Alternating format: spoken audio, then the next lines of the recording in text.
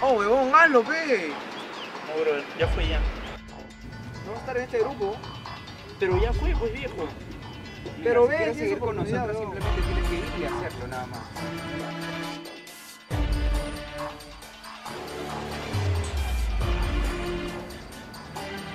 Ya, bro, voy a hacerlo.